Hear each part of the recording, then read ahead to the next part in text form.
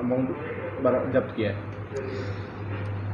ये आज दिनांक का मामला है, जिस पर रामगंज थाने के मनीष कांस्टेबल व हेम सिंह कांस्टेबल ने ज़रिए टेलीफोन सूचना दी कि आज़ाद पार्क के सामने खाईवाली चल रही है जिस पर मैं व मैं हमरा जाप्ता के मौके पर पहुँचे, जहाँ पर लगाईवाल व खाईवाल सहित सात व्यक्तियों को गिरफ़्तार किया है। जिनसे कुल सटा रकम एक लाख दस हज़ार आठ सौ पचास रुपये मिले। नाम क्या है? सभी के आरोपियों में नरेंद्र सिंह है ओम प्रकाश सांवरा शंकर शैलेश गुप्ता व राजेश और लक्ष्मण। कहाँ खेल रहे थे ये? ये आज़ाद पार्क के सामने गुमटियाँ हुए ऊंचाई की थड़ी है उसकी आड़ में खेल रहे जन- क्या क्या खेल रहे थे थे ये वही है मधुर नाइट।